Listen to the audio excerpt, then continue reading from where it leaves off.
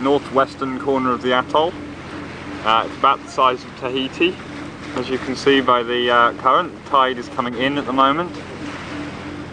This here is the atoll path. Hopefully you'll be able to see the bottom from here, maybe 20 meters deep.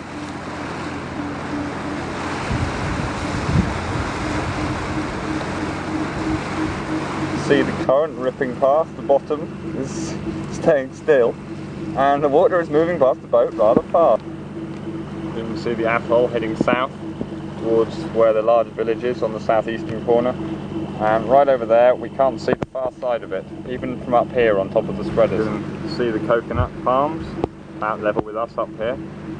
They're not really in season for fresh ones at the moment, in which what there are have been collected by the locals, but we managed to get some uh, mature coconuts for um, eating rather than drinking. Uh, Ros and Borio went on a foraging expedition yesterday and today. Have local fish traps, I believe.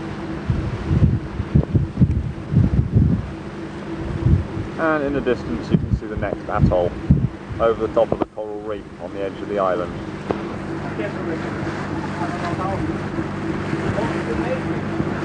Okay, already.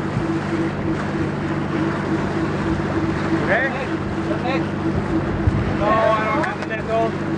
Sorry.